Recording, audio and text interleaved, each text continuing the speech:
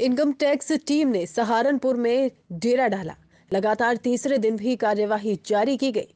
24 नवंबर से income tax की छापेमार कार्यवाही चल रही है। इनकम टैक्स के अधिकारियों ने शहर में कई कारोबारियों के अलग अलग ठिकानों पर छापा मारा। इनकम टैक्स छापे की कार्यवाही से शहर के कारोबारियों में अफरा तफरी मची हुई है।